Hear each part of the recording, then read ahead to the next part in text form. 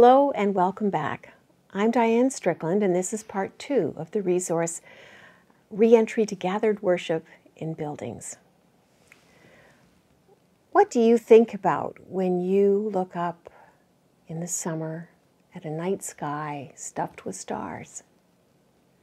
Most of us go silent and we realize how vast and unfathomable the universe really is.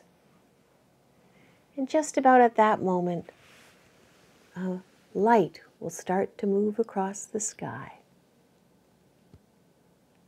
A satellite that we put there. That makes me think about all the space travel stories from my lifetime. And I remember learning about the perils of reentry to the Earth's atmosphere and the tremendous care and skill it took to get the angle of reentry just right. The first video on reentry for gathered worship in buildings offers a trauma informed approach to factor in the known and unknown impact that this pandemic has had on everyone, individually and collectively. If you still aren't sure how much from that first video applies to your setting and your community of faith, it's probably wise to err on the side of caution, recognizing that things have changed for people, but we don't always know how much until we bump into it with an assumption that isn't there anymore. Carrying forward individual and collective insights into the actual process of decision making and implementation is important so we can bring along as many people as possible and that's the focus in this video. This video is meant to help us find the right angle of approach in what is an unsettling and traumatic time for us. Working inside a traumatic event as a leader who is also in the same traumatic event, which is what we are doing, is a new challenge for most of us.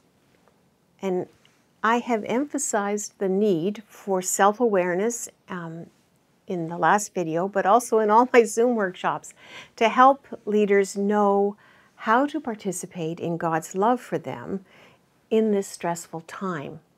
So, what I'm saying here is that we not only shouldn't make assumptions about other people, we shouldn't make assumptions about ourselves either. We need the right angle too as leaders. Each community will have its own way of assigning the work of reentry, um, investigation and recommendations and decisions, and preparation and implementation. For some, it's the governing body. For others, it's a special task force or some other combination. Whatever works for you is what you should do. It is important, however, that people who will be leading reentry worship, either your ministry personnel and or other uh, staff members or key volunteers who participate there need to be consulted and kept in the loop as you go along and have their concerns heard if they're not in the working group itself. So bearing all of those things in mind, this video looks at four things. The first is the crucial task of weaving spiritual practices into the work and the plan that you create. The second is all about gathering information, the different kinds of it, the challenges that are inherent in that, and the limits that we might face. The third is about using risk assessment and risk management in your process, how to do that and how to do it in a holistic way. And the last one is about creating a storyboard to create your plan so that all the bases are covered. So that's what we're going to do in this video, and here we go.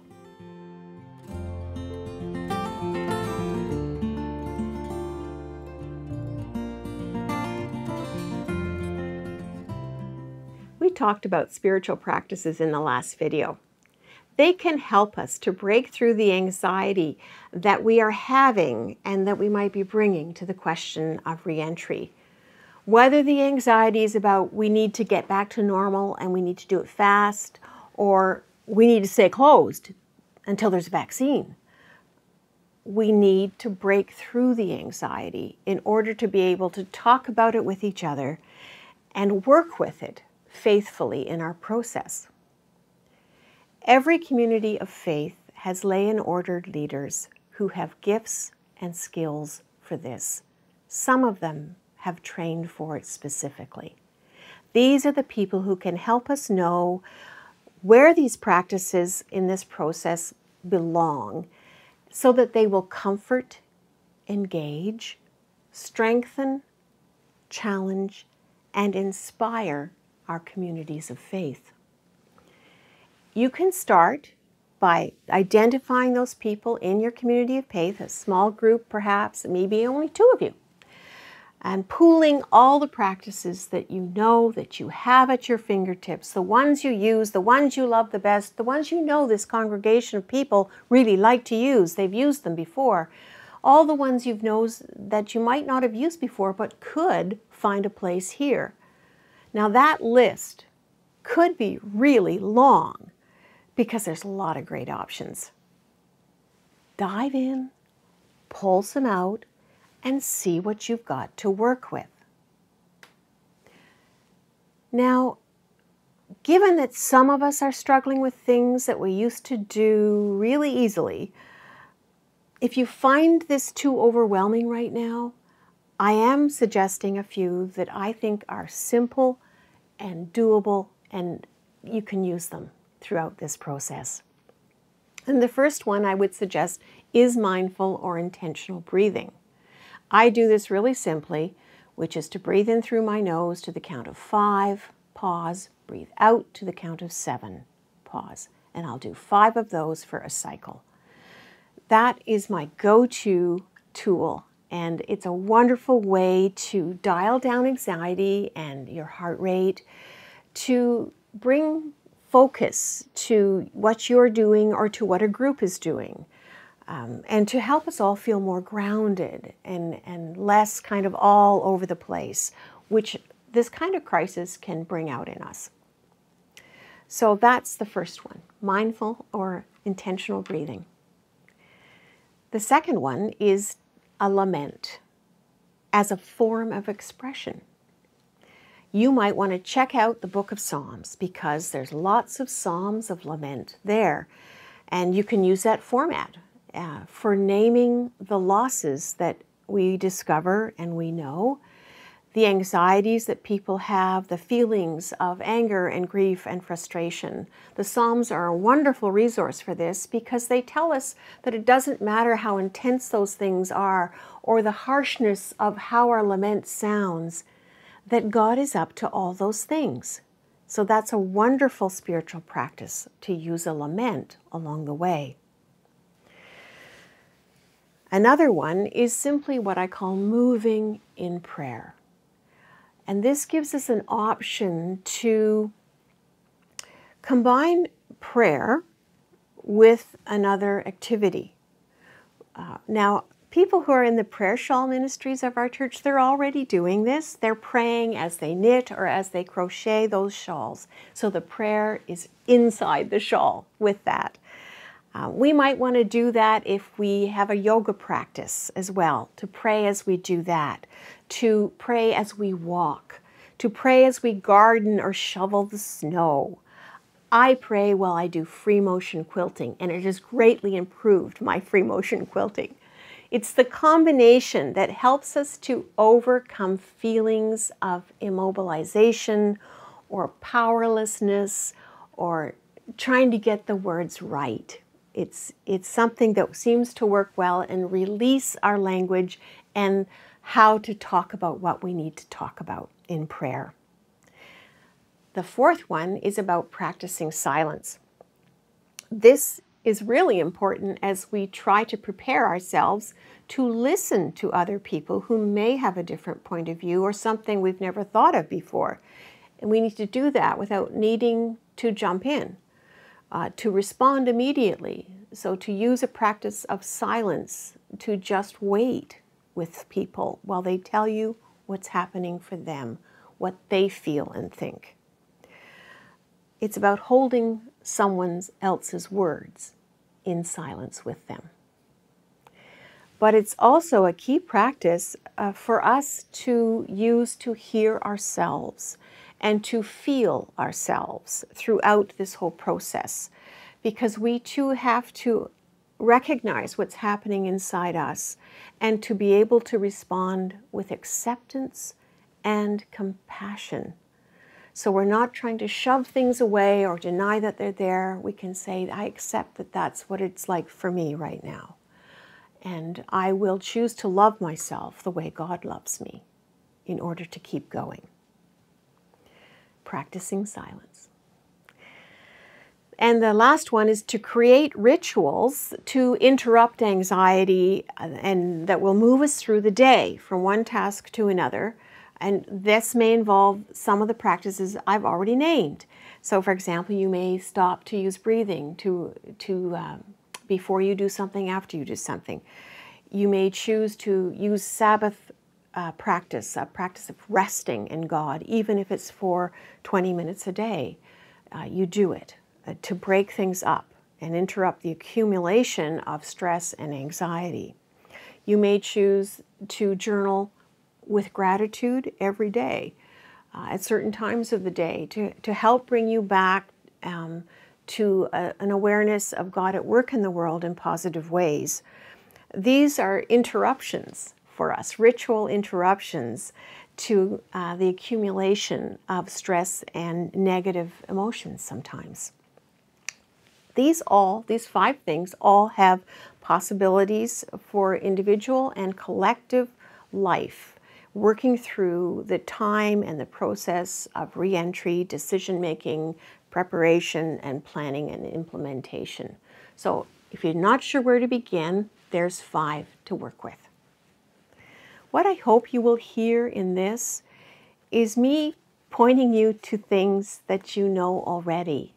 Um, that you already do and realizing how important they are, making them into real resources for this new situation we're in. Some of you, as I said, have, have studied and trained for this all your life, and this is a good moment for you to bring it forward. It's a critical resource. Some folks, sure, may never do these things, even if we put them in front of people. But what I've learned is that in a traumatic event, while some people may become a little more rigid for their own way of managing what's going on, others will become more open to trying something different. So, providing ideas for spiritual practices and helping people to pace themselves and support themselves, whether you know whether they do it or not, it doesn't matter. It's out there, you've put it out there. And you may be surprised to discover who uses it. It helps people to participate in the whole process and express their investment in it too. As we talk more into the video, um, please think of spiritual practices that, that might work in the categories I suggest. And I'm, I'm going to put a few in a few spots just to spark your imagination as we go along we can move engagement to a deeper level to receive information, to respond to questions, to process options and consider risk, and to test plans, and then to live into them with faith. And leaders who will model these practices also engender trust and a spirit of collaboration. The crucial task of weaving spiritual practices into everything we're doing is something for us to pursue.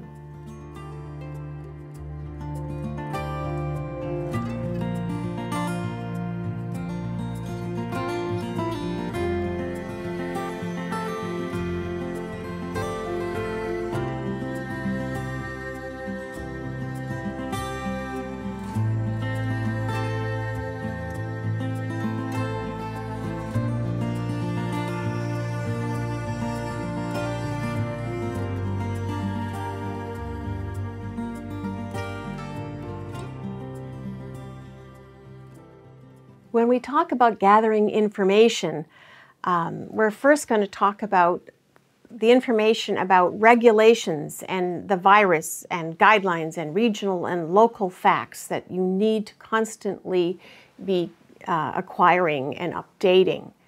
And this, of course, is where we run into this really unhappy dynamic of instability in our data, in our conditions. So while in another task, this might have been a straightforward piece of work, in this task, it is bigger and more stressful. So we may need to divide up different sources of this kind of info and assign them separately so that no one gets just overwhelmed with the instability of everything. And along with that, an important recording task for people doing this work is to date the information they're giving you as they record it so that we can know how far back that report goes and whether we need to check for an update on anything in it. Because in an environment of data instability, dating information has become critical. I'm hearing already that this area of the whole reentry process uh, can take over and bog down the whole group. Distributing information and educating everyone is turning out to be one of the most challenging parts for us. We may need one or more people with special skill and ability in this to review data as it comes and to determine where it may matter to us and to keep a large file folder and a binder with everything in it, but don't ask everyone to read everything, just to pull out the information a group needs for each piece that they're doing because the group may never get past reading stuff if we just keep giving them the latest article on this. Someone needs to simply make point bullet points on what we need to know that's new and date it.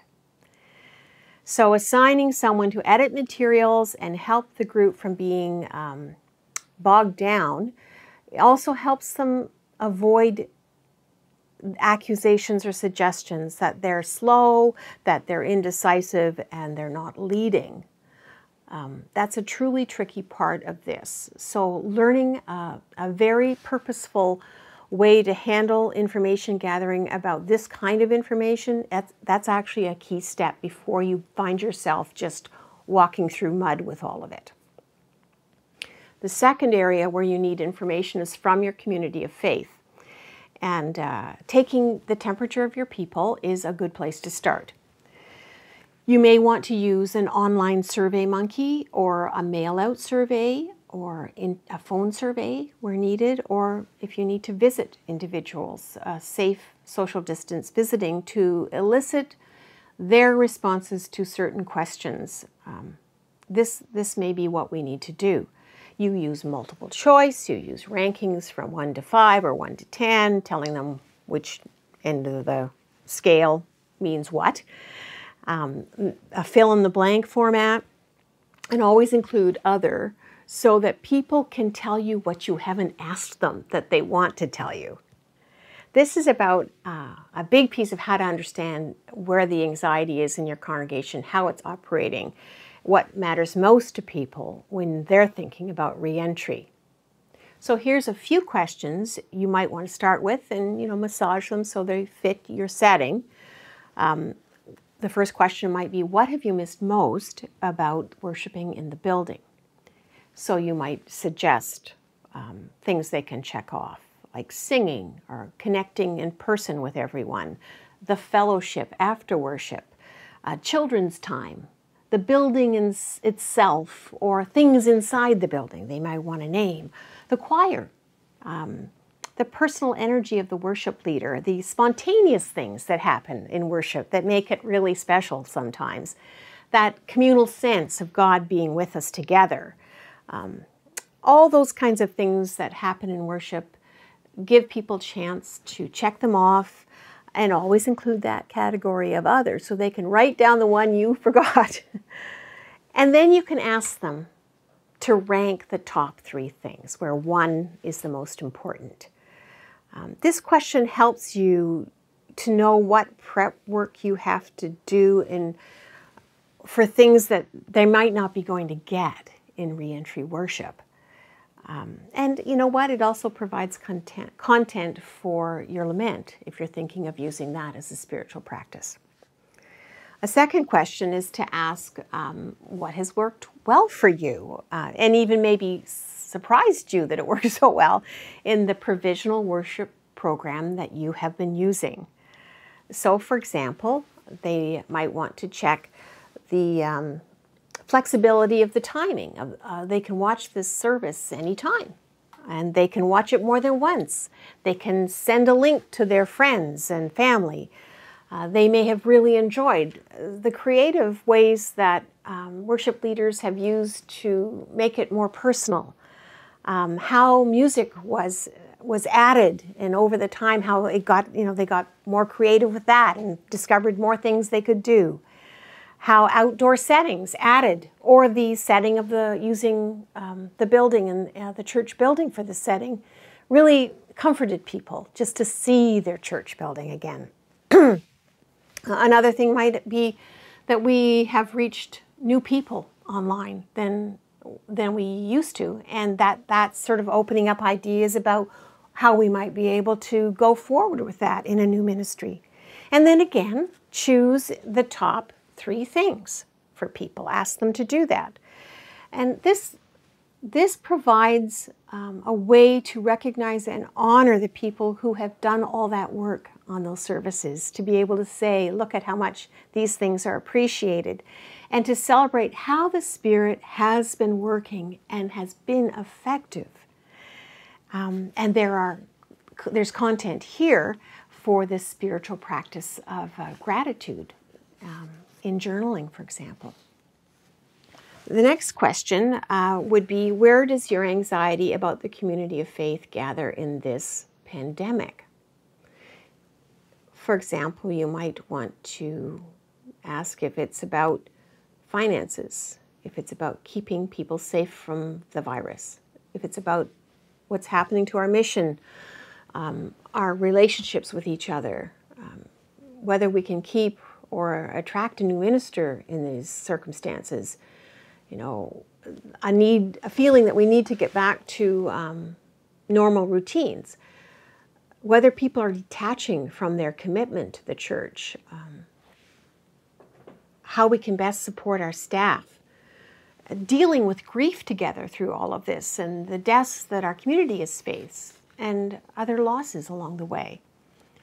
Not being able to celebrate all the good and wonderful things that happen uh, weddings and births and awards and special anniversaries, etc whether people are getting the pastoral support that they need in these circumstances, um, making sure our seniors and our shut ins are well looked after and attended to.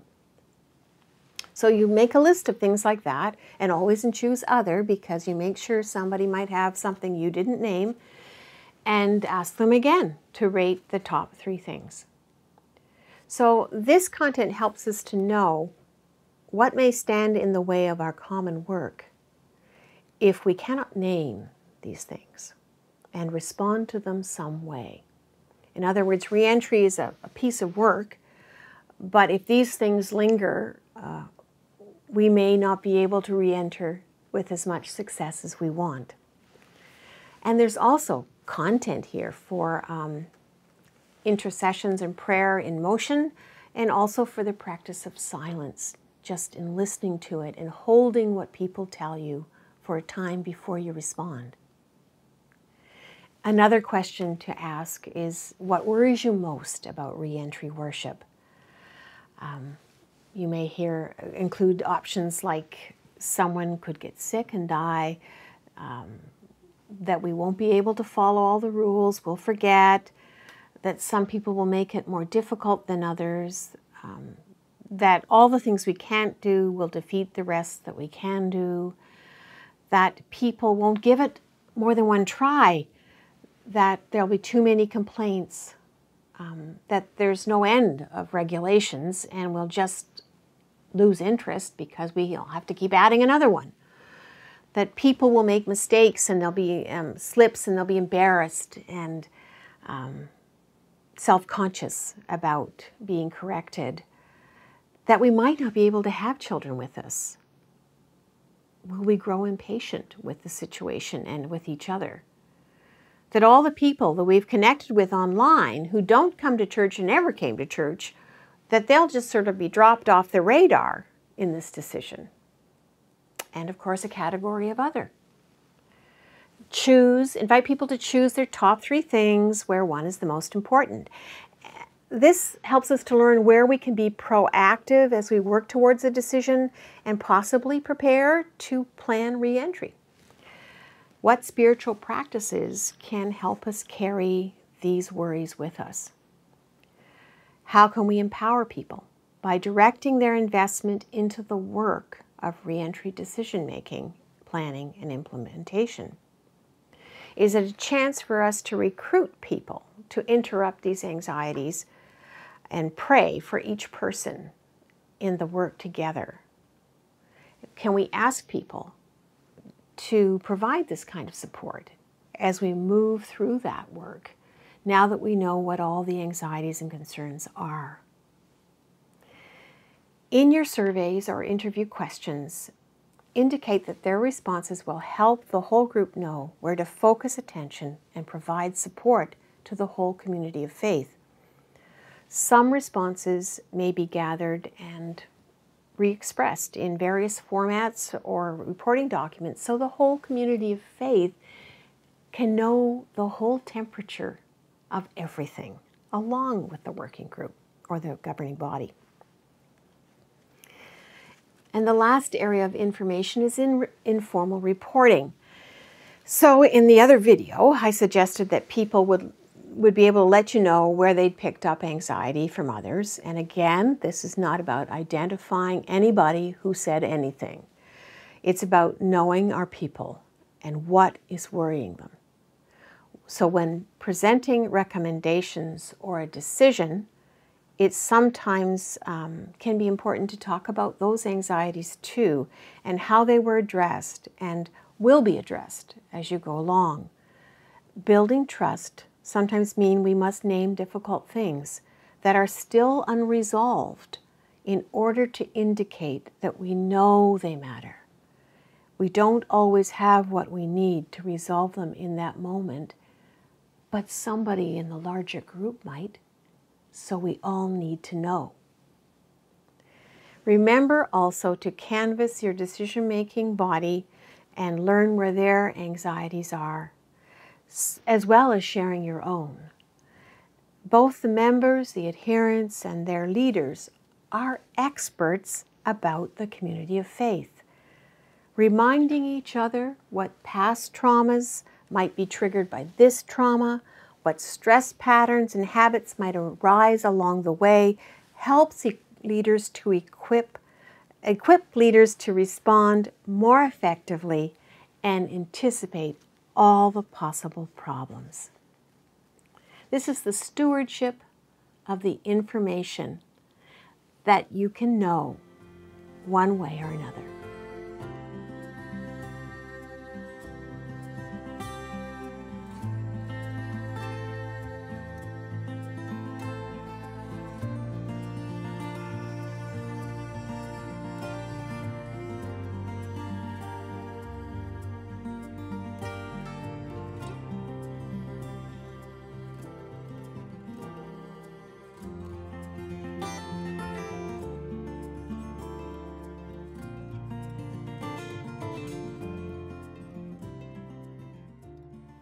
People use risk assessment and risk management in lots of business settings. And I adapted a basic practice for traumatized people to use in personal decision making, and it also works for communities of faith. Having a process helps us to keep focused on facts, to stay in problem solving mode, and to become attuned to the capacity for absorbing risk in our communities of faith. In each step, I use six categories to ensure a holistic consideration of all the dynamics that can become drivers for success and failure. So those six categories are physical, emotional, social, spiritual, financial, and psychological dynamics. So here's how that risk assessment and risk management process works. Step one is identify a risk. Choose one of those six categories and what are the risks in that category. For example, a simple physical risk is that someone might get infected with the virus at our worship. And you want to go through all the six categories uh, to identify risk to make sure you get them all. Step number two is to list possible outcomes if that risk is realized. And again, you're actually looking at outcomes in every one of those categories for that one risk. So, for example, the physical risk that someone might get infected, some of the categories of outcomes include things like people being devastated. That's an emotional category. They're re traumatized, a psychological category. Um, physical categories, well, they could get infected too, or they might have to isolate or quarantine. That's a social category. Um, they may have a crisis of faith. That's a spiritual category.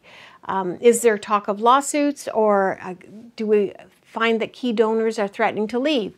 This is a financial category.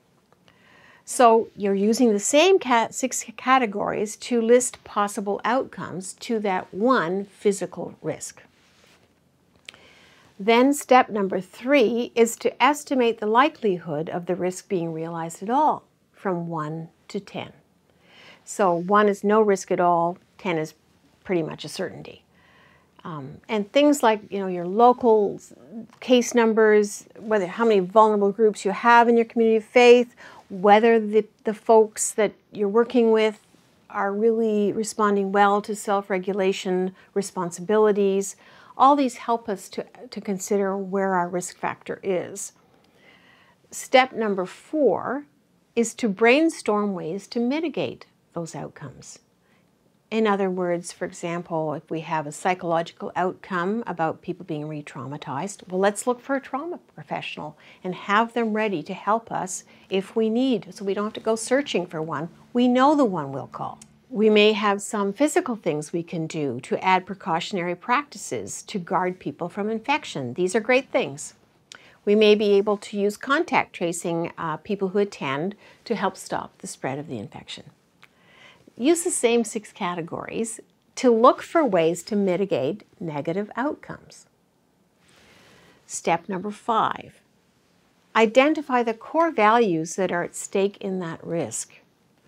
For example, if one of your guiding principles going into this consideration of, of this question, um, the safety of all as a priority for your community of faith, well, that's at stake in this risk.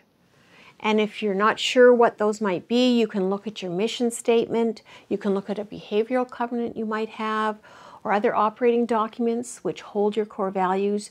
Uh, there may be some uh, core value material that came from your regional uh, offices or the, the national office of the church affirming certain values in this process.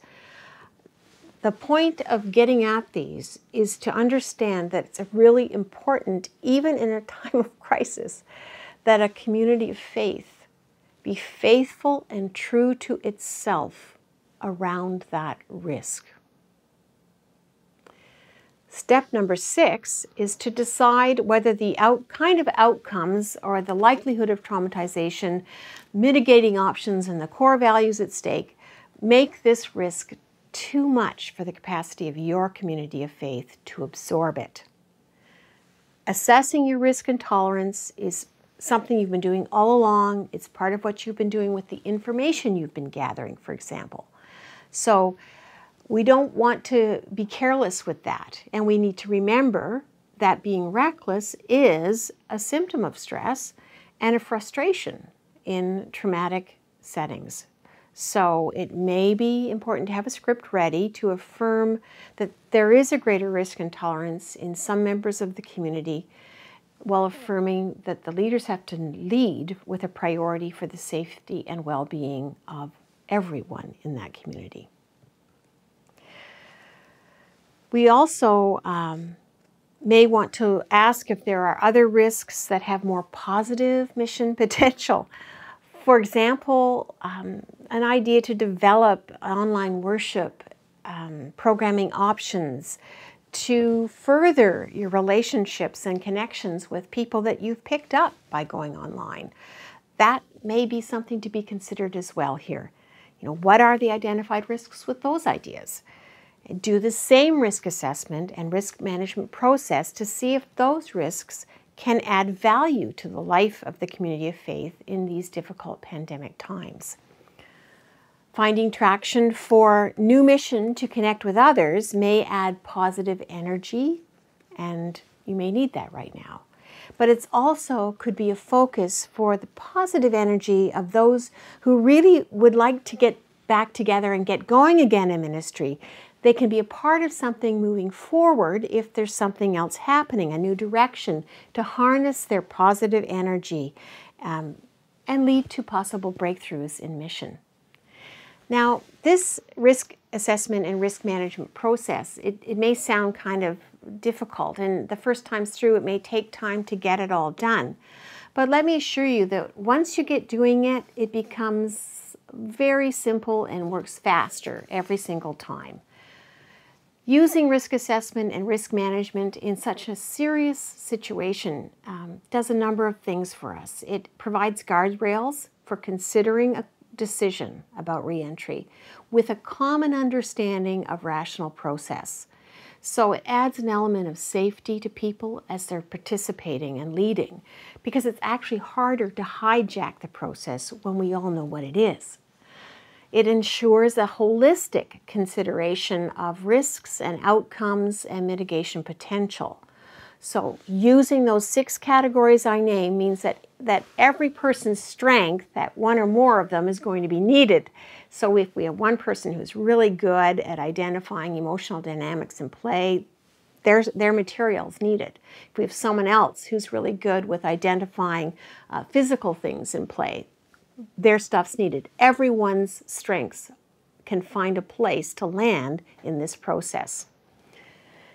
Also, it does allow you to look at risks that um, provide opportunity to the congregation, um, not just risks that you're trying to avoid harm.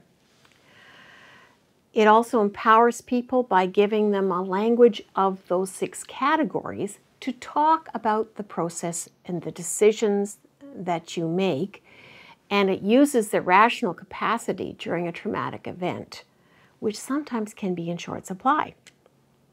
It helps everyone to talk to each other without allowing one category of risk to run everything. So it offers safety, transparency, collaborative and empowering process during stressful times and you can just you know set up a, a, spreadsheet to do your work to record things and, and have it all organized so that you can refer to it as you go along. After you've done that you're going to decide if you're ready to prepare a plan for reentry or if it's too soon for your community of faith. Even if you do go ahead with reentry you need to also address if you're going to continue to offer online services or home worship service print resources because, as we know, some people may not be able to absorb the risk of going, whether you decide they can or not.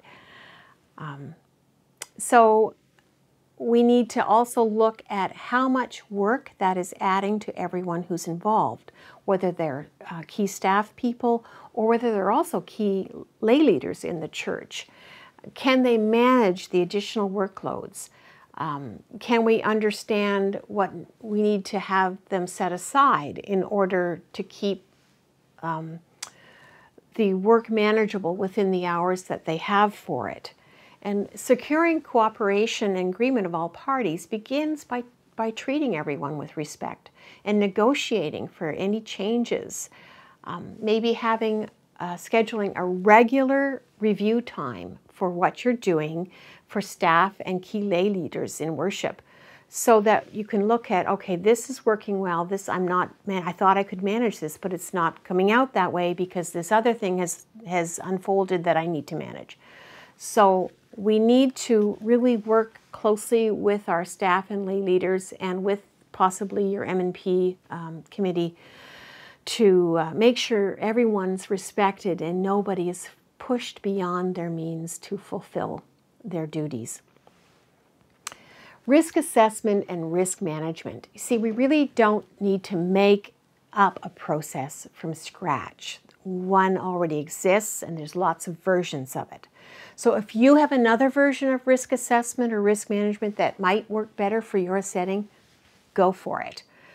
I do invite you to put those six categories, however, into it if they aren't there already. Some basic rational process. I think it's sigh of relief all around.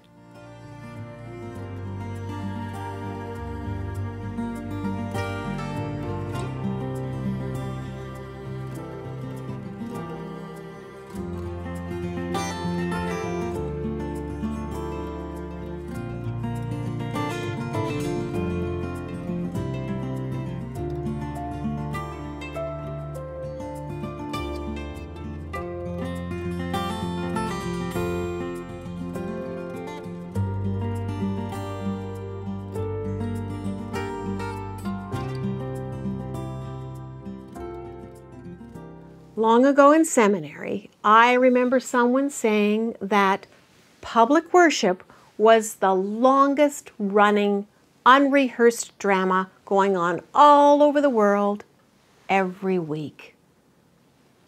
So let's just take a bow for that.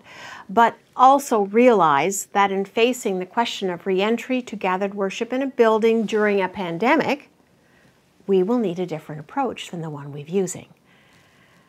So the idea of a drama unfolding leads me to consider using another available tool called the storyboard. Now you can do an internet search for a storyboard template. There's lots to choose from. Choose the one you like, download it, and start using it. Start working with the story of your re entry worship service. See it like a movie scene after scene after scene. Have an eye for how many worship stewards you might need in every scene. What signage is needed? What equipment has to be there? What preparation needs to happen?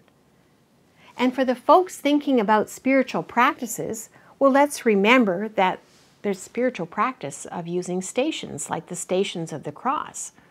What could you add to each scene if you thought of it as a station.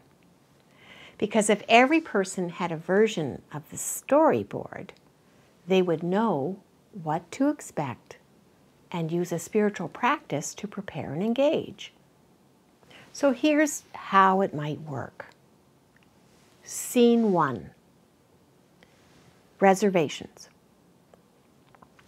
We didn't used to have to do that for worship, but we have to bear in mind that our buildings, once they're marked off in seating for social distancing, we might not, we might not be able to accommodate everyone. So if we can't have everyone in the building with regulated distancing at the same time, who gets to come? How is that facilitated in a fair manner? And do we actually want to offer more than one service? because then that would mean we have to have cleaners in between them and two sets of stewards if we're going to do, do it twice. So scene one, reservations. Look at everything in there. Scene two, what about setting up a buddy system? Some folks go to worship on their own. And if all the permitted spots in their social bubble aren't used up. And let's remember that every region and area has a different number of people they're allowed to have in their social bubble. Can they use one of their unused spaces and join up with someone else who's also going on their own and go together? So they're not on their own engaging this new worship. The protocols that may feel strange, forgetting things and feeling self conscious when we really want them to be self aware and not self conscious. Buddies can help by reminding each other, encouraging each other, learning together, sharing what things feel like after, not just being alone in it.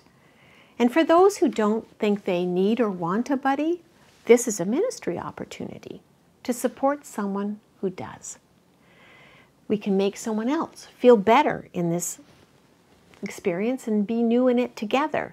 Collaborate and empower each other in the uncertainty and the newness of it. It's an opportunity to care for each other, whether we think we need it or not. Why, that's a spiritual practice, isn't it? Scene three arrivals. Now, depending on your situation, you need to ask whether someone is needed to manage, for example, the parking situation. And if everyone parks at once, do we need a social distanced area where people can gather, like a holding zone, with um, like they do at the grocery store before you can come in? Sometimes you have to line up and wait in an area, and then there needs to be a steward to move people through, just the way they do at the grocery store. Scene four masking and disinfecting. Well, where does this begin? No, if, if the church signed up as a mask distribution point and has masks to give out, well, who facilitates that? How do they do it? Um, what do we do if someone objects to putting the mask on and who handles? What's, what's your strategy at that point? You have to have a plan in place. So, masking and disinfecting hands, how do we turn that into a spiritual practice? Scene five entering the building, if you haven't done so already. Well, it's one way traffic, no coming and going. Once you're in, you're in. Um, we need a transfer uh, checking transfer tracing check-in station there. So someone has to make a note of who's there and how we contact them. Um, and who's going to do that? And how will they do it in a way that is a welcoming thing and not intrusive? How can that become a spiritual practice for people? Scene six, the seating. Well, who makes sure people get somewhere that's safe? And how we do that without coming too close to them ourselves. Sometimes it's a frustrating thing when people want to sit in the same place every week. What my trauma work has taught me is that church is often the only place some traumatized people feel able to go. And that's because it is predictable. They create their own security by sitting in the same spot, for example. So let's not assume that people with those concerns are just rigid or superficial or whatever. I have learned um, that for some people, and in every age group I have learned it, some people, the same seat is what makes it possible for them to leave their home and come. So some of the I must have my pew people are actually trauma stories that pre-existed the pandemic. So let's think about talking with people that we know do that to make sure maybe they need to come in and see what might work for them in the new socially distanced configuration and make sure it's saved for them so that they too are able to come and feel safe. Scene seven is worship content. You might want to start this with a covenant of care and respect for each other that is a part of every week that expresses the core values of what we're doing together in the new protocols for worship life. And we agree to it every week. Um, we may want to do something like put symbols on our communion table of the things that we cannot do together right now in worship, like a hymn book, a, something that symbolizes our children's time, um, you know, a coffee mug for fellowship time that we can't do afterwards. Um, all kinds of things that could go on the table and and having them been named and maybe lighting a candle for each one of them. Um, those things can help us to remember that we haven't forgotten those things and that they're in a safe place. We are entrusting them to God and we may get them back, even if we get them back in a different way. We honor them and what they mean to us. we may want to look at more action songs so people can participate in singing without making noise. Um, and uh, no touch action things for exchanging the peace, all the various options there are for that. Uh, helping people to read prayers silently along um, as the leader leads, maybe using mindfulness breathing as a part of gathering the worship together. Um, planning for what to do if people get confused or they're upset or they don't want to cooperate. You know, how are we going to manage that? And then when it's over, we need an uh, exit choreography in place so that everyone leaves in a socially distanced way and, and knows what where to go next. And the next scene, this will be scene eight, I think. I've got, it's the aftermath. We've got to do cleaning, we've got to do disinfecting. Um, and outside or somewhere else in the building, we may have that same waiting area where we are the holding place for social distancing people while we let people go to their cars in smaller groups so there's not a whole lot of people running into each other between cars and stuff like that. Um, and then scene nine is the test run, where you've got it all designed, and then you gather up some volunteers to do a walkthrough from start to finish. So you get feedback, you find out how things work. Uh, they may have suggestions that are really good um, and concerns that they have that you didn't think of. Scene 10 is making any necessary changes and improvements that come out of your test run. And the uh, scene 11 is, a, is you take that plan, the storyboard, and you distill it down from start to finish and, and give it to everyone so that everyone has an idea of what they can expect. There are no ambushes because we didn't tell people what it was going to be like. And when we do that, we are going to be asking them for their prayerful participation. We're going to be asking for worship steward volunteers that we may still need. We can thank people for all of the prayer and encouragement that it's taken to get here and how wonderful it has been to be held in that love um, as the people putting it together.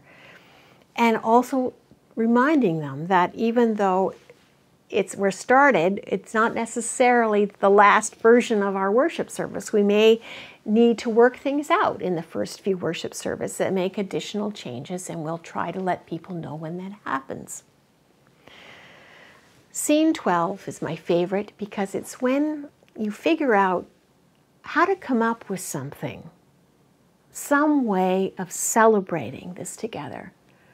Uh, whether it's you, you have a huge welcome banner, whether people um, are able to take something from the service, a memento, safely, uh, a, a, candle, a something, uh, a note uh, of thanks to each person that's come.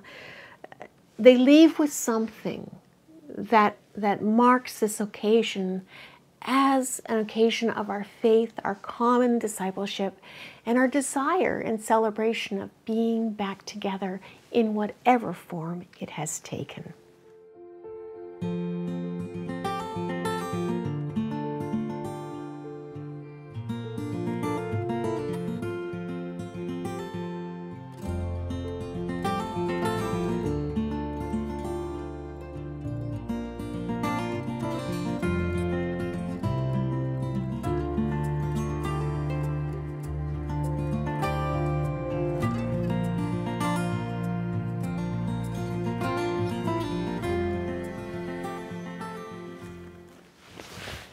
So there's a few approaches and tools that contain and express all the principles of trauma-informed care, and they offer us a path through this extraordinary responsibility that we have.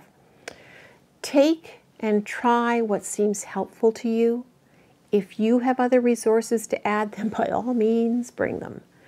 Bear in mind that who you are right now, having lived through months of this pandemic,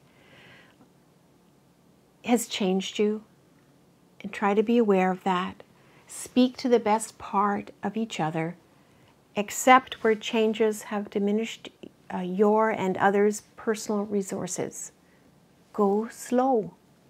Rushing doesn't work so well in a traumatized setting that's still going on.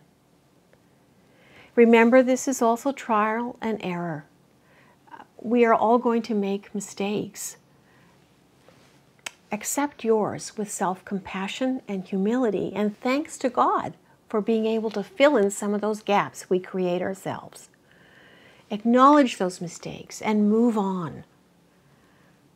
We may need to keep changing things as we go along, improving our safety, enriching our experience too.